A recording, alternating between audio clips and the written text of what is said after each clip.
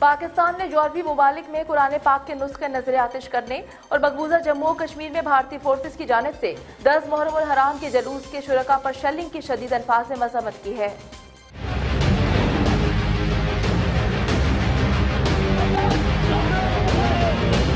दफ्तर खारजा के तर्जुमान जाहिद हफीद चौधरी ने एक बयान में कहा है कि भारत के गैर कानूनी जेर कब्जा जम्मू और कश्मीर में पलट गन से शहरियों को बिला इश्तियाल निशाना बनाकर उन्हें शदीद जख्मी करना और माजूद बनाना हती के कत्ल कर देना, इंसानी हकूक और उससे मुतल कवानीन की खिलाफ वर्जी है। उन्होंने कहा है कि भारत ताकत और कानून नाफिज करने वाले इदारों की जानब से हथियारों के इस्तेमाल और कानून नाफिज करने वाले हुकाम के लिए अकवा मुतहदा के जबता अखलाक की खिलाफ वर्जी का इरतकब कर रहा है। तर्जमान दफ्तर खारिजा ने कहा है की मुहर्रम जुलूस पर पैलेट फायरिंग के बायस दर्जनों कश्मीरी जख्मी और कई बिनाई खो बैठे।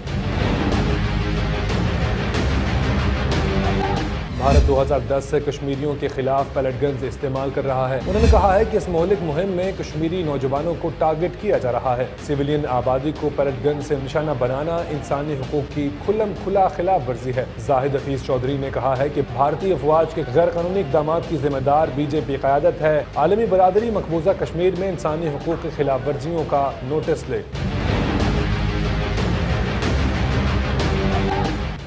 साथ साथ पाकिस्तान ने स्वीडन और नॉर्वे में कुरान पाक की बेहरमती की भी शदीद अल्फाज में मजम्मत की है। तर्जुमान दफ्तर खारजा जाहिद हफीज चौधरी की जानब ऐसी कहा गया की पाकिस्तान हाल ही में स्वीडन के शहर मालमो और नॉर्वे के शहर ओस्लो में कुरान पाक के नुस्खे नज़र आतिश करने के वाकत की शदीद मजम्मत करता है। उन्होंने कहा की इस्लामोफोबिया के इस तरह के बढ़ते हुए वाकत किसी भी मज़हब की तालीमत के खिलाफ है। मजहबी नफरत ऐसी आज़ादी इजहार का दिफा नहीं हो सकता। तर्जुमान दफ्तर खारजा ने कहा की दूसरों के मजहबी अकायद का एहतराम करना मुश्तर ज़िम्मेदारी है और आलमी अमन इस्तेकाम के लिए नहायत ज़रूरी है।